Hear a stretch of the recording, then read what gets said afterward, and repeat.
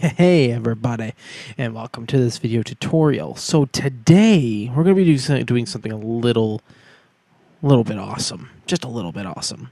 So um i got asked by um some some of my subscribers how do you put your custom spawn egg into your custom tabs so I researched it and I found out, and we're going to do that right now as well. We're, we're, we're also going to solve the naming issue in this video. I got um, a message from uh, a subscriber as well with a fix for that.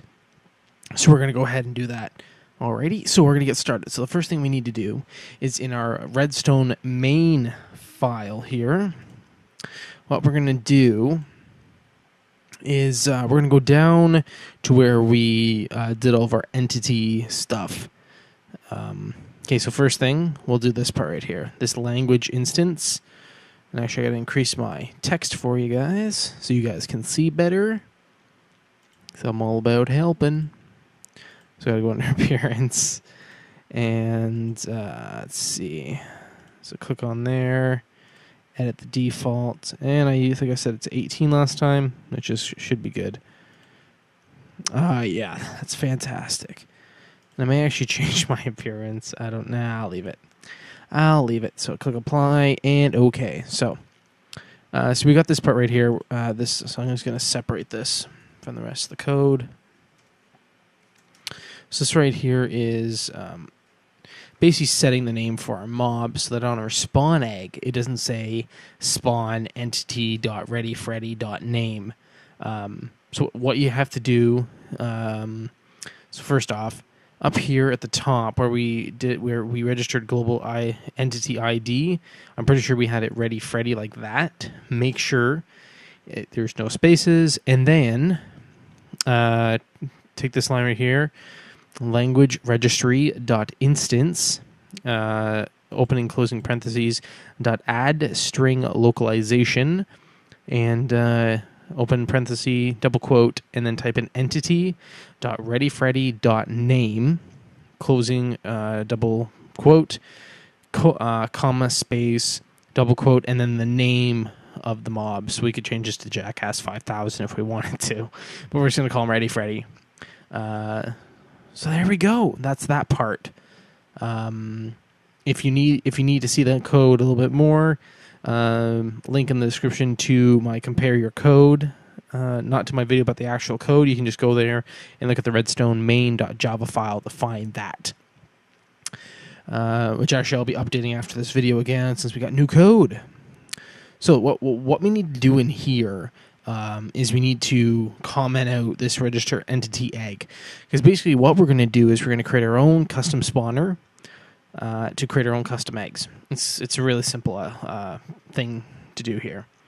Alrighty, so uh, after we've done that, we need to go up to the top here. I'm just finding all my stuff because I literally just completed this. Okay, so we're going to go underneath our biome. Da, da, da, underneath here before we did all of our mob stuff, type a comment and type define um, custom mob spawner. So you can create as many of, these custom spawners as you want. So if you have a really big mod where you have, let's say, you want to have one uh, custom tab. Actually, no, you can just really have one if you wanted. But you know, it just all depends on how you want to have it. But you can have as many of these as you want. You just gotta repeat these steps for each one. Uh, but, we're, but we're just going to be creating one of them. So we're going to type in public static item custom spawn. We'll just call it custom spawner. And there we go. Uh, semicolon at the end, and you're finished there. Now we're going to scroll down some. I'm just going to find the code over here first. All right, yes, yes, yes, yes. So now in our settings code, below our biome, Again, settings for custom spawner. So then in here, what we're going to do is we're going to type in that, that name. So custom spawner. Spawner is equal to new custom spawner. All right. Um, we're not going to give it any special name, just something simple. And we're going to give it an ID of uh, 1016. Um, now the the tutorial I, I followed had 8,000 in there. If you guys want to try that, uh, and if it works, post in the comments down below uh, with saying that yes, that works or no, it doesn't. I'm not going to bother trying it. I'm just going to continue on because I got so much stuff to do. Um, I'm getting comments all day long, which is absolutely fantastic. Um, you know, I'm I'm I'm looking at them all the time, making sure I, I I get each and every one. Every time I get a comment or a message, I get them in my in my inbox. So I probably got about 60 emails today, I would say. so it's it's good. Uh, so anyway, all we have to do to uh, the only parameter we have is the ID, and then we got to do our set unlocal local his name. So this is basic uh, setting stuff as we've done before. Custom spawner is our unlocalized name. Now this part's a little bit different. So since we're dealing with spawn eggs, um, we got to do something a little bit different. Now you really got to pay attention to this part and make sure that you type it exactly as I have it. Uh, this is another one of those weird function things. So FUCN or F FUNC underscore one one one two zero six underscore D open parenthesis double quotes uh, path to your um, same stuff redstone tutorial uh, comma so blah blah blah comma custom spawner. So basically, we're setting the texture stuff just like you'll always. We're some more stuff with this in our actual class file for a custom spawner. But for now, just put that in there and then set the creative tab. Set creative tab. Um, this dot red tab in our case. Now, don't don't don't don't get, get confused. You don't have to do this for each and every spawn egg that you have. Okay, you only have to do this for um, just for the spawn. Uh, it's it, it's hard to explain, but you only need to do this once. You don't you don't need to do this for each one. I'll show you where you have to repeat stuff later on. So from there, we got that. That's fantastic. My mouse is kind of going bonky on the, uh, there for a second. And now we got to go down and we got to and we got to give it a language registry. Um, so we're gonna go down to the bottom here, down to right below our biome, and we're gonna type in. I think I'm pretty sure I have three lines. So there we go. So register, um, custom spawner. So there's no game registry, just language registry. So language registry dot add name as usual. Uh, the, so custom spawner. This is all normal stuff. We know how to do this. But for the name, you only want to give it uh, a name of spawn, no spaces, capital S on that. Um, so basically, this is going to be the word that appears before. So like uh, for spawn ready Freddy, so you could have it. You could have it say generate ready Freddy or whatever you want it to say. But I'm just going to stick to Spawn. That's the the basics. And that's pretty much it for the Redstone main file. You can close that and open up. Uh, actually, no, don't close it yet. we got to create our custom spawner. So we're gonna so we're gonna hover over custom spawner, click create class. Uh, we're gonna put this in a package called spawn. We already know how to create packages by now. We've created how many of them so far? lots of them. So you know, redstone dot spawn is where we're is where we're going to put this. So press enter or return on your keyboard, and that's going to generate. Now we are going to have to we are going to go into um,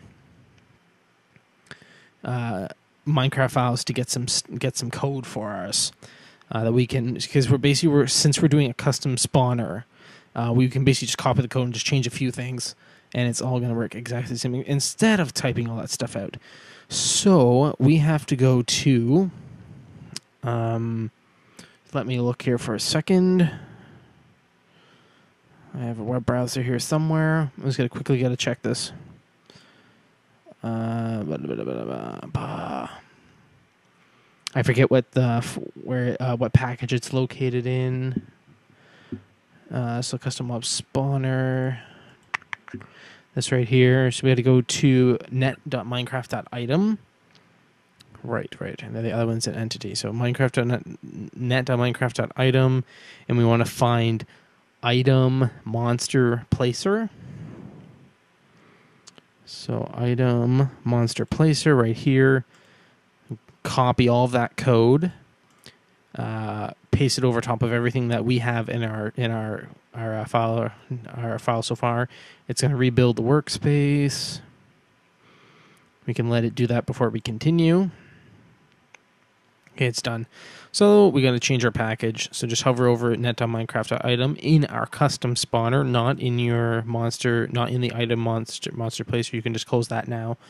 So you can just hover over that and click change packet package declaration to redstone underscore tutorial dot spawn. That's going to change that to that. And then as well as here, change this to change. Uh, you want to click rename type to custom spawner. Uh, and import item. There's a bunch of other stuff in the part. So just press Command Shift or Control Shift O, and that's going to import everything we need, and that's going to fix every error we have. But we're not done yet. So uh, right now, this is going to grab. It's going to uh, put stuff in the in the normal entity list. That's where it's going to get it from.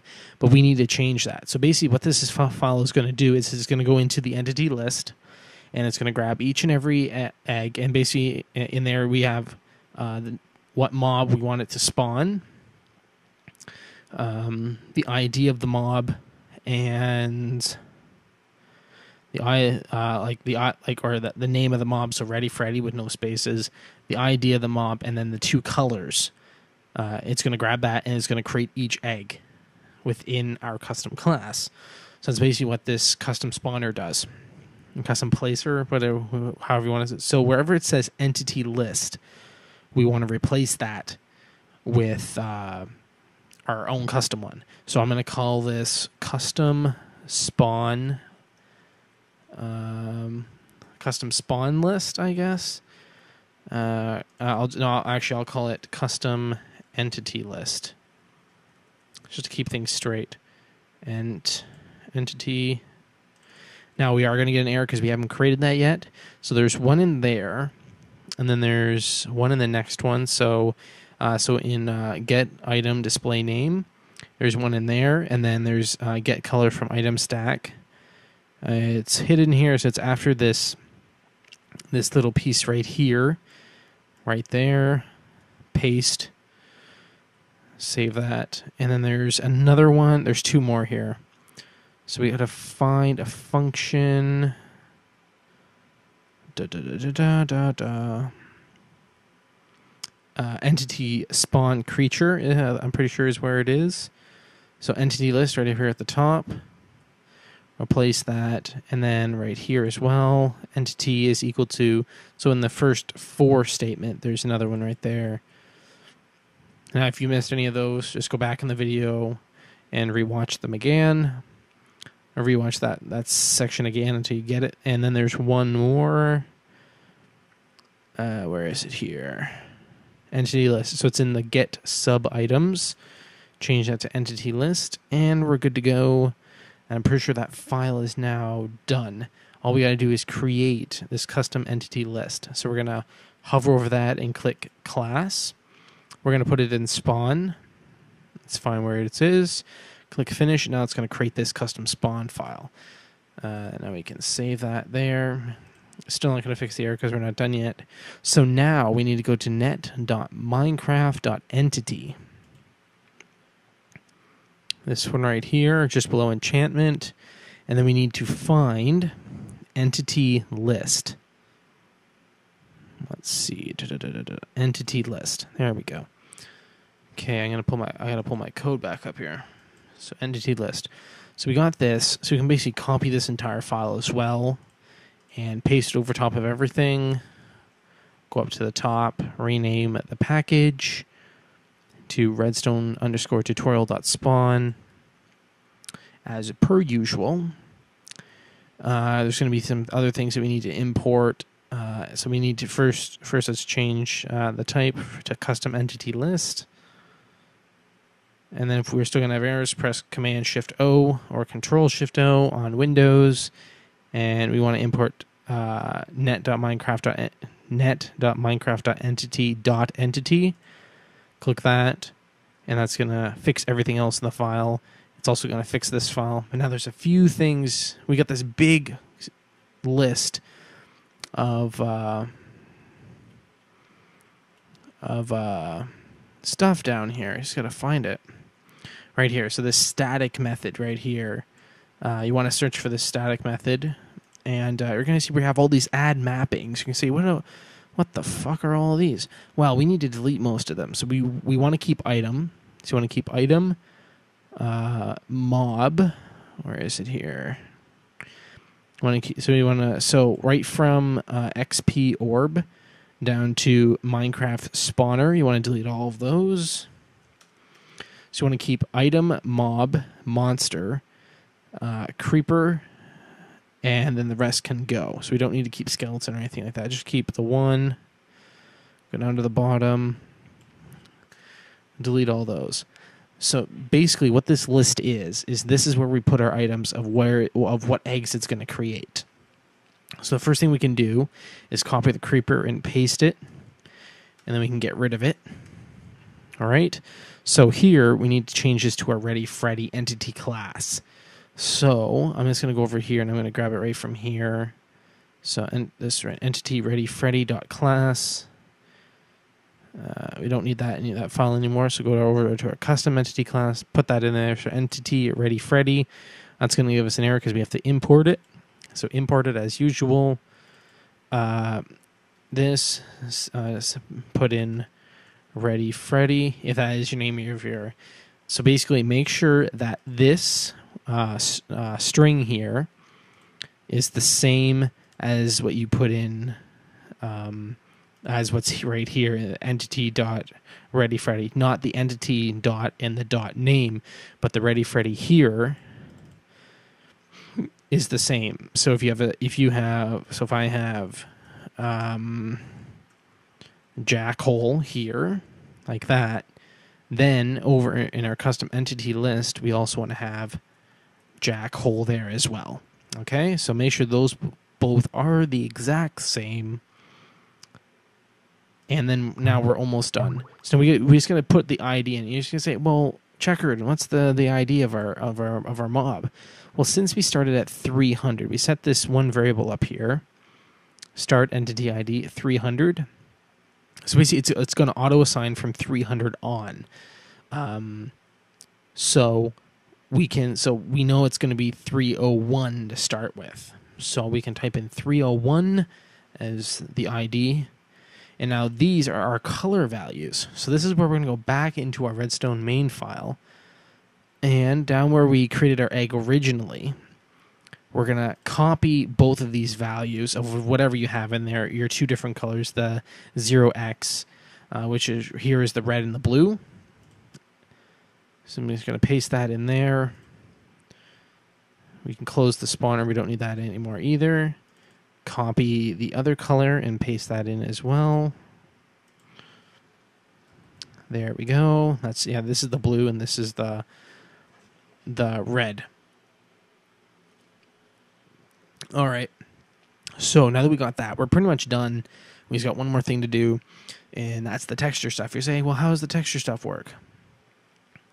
Um, I'm going to go back into that custom spawner file for a second so I can explain this to you about how that part is working. So we go into spawn, custom spawner. We go right to the bottom. Uh, you're going to see we, we have the register icons part here, and we have super the register icons, and then this dot I this dot the icon is equal to par one icon register dot register icon this dot function one one one two zero eight underscore A. Okay. Now you may say, well, what it, what we have in there is we have D in there. How does this correlate? It's just the way it is. I'm uh, I can't make it. I, I I really can't explain it. This is just the way it is. And then plus overlay. So basically, this is the overlay. So basically, what it does is it takes. We have two white images of both the the the egg base and then the egg overlay, and I'll show you what those are in a second. Actually, right now. So if we go into our uh, our uh, default resource pack, we go to Assets, Minecraft, click on Textures, then Items. We're going to see we got this spawn egg overlay and this spawn egg. So this is the base and this is the overlay. We need both of these.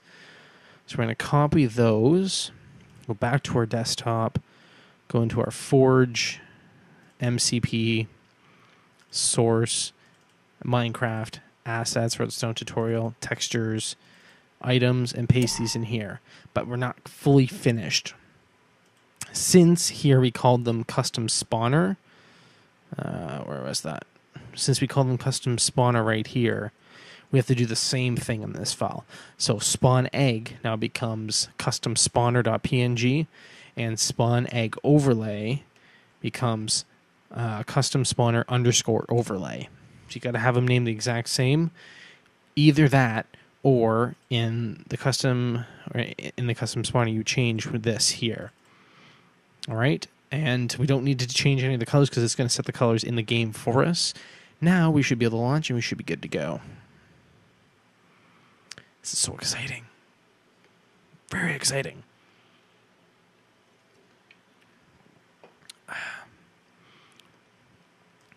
All right, so let's test to see if this worked. It should work because it's the exact same code I got in my test file, my test project. All right, so we're back here in our world. Time set zero. Okay, so we got a whole bunch of stuff we can get rid of here. We don't need any of this stuff anymore. Actually, we can just click it like this. Please say it's actually gone. Yeah. Uh, bring this stuff down. I'm going to get rid of it as well. Okay, so as you can see, our egg is not in this miscellaneous and you know doing this is really actually helpful if you like if you have a lot of mobs in your in your uh, mod you can have a custom place to get all of yours instead of having all these different things having a whole bunch of more eggs in the same spot. So now if we just click over and we put them in the red tab or we put it there it is. Spawn ready freddy inner custom tab. And it spawns ready freddy Look at that shit. Look at that shit. Game mode S. Look at that. Look at that. Uh, and actually, another little tidbit I'll give you in this video. Um, I'm not sure if I did a video. On, I don't think I did a video on this already. Uh, for our uh, for our um,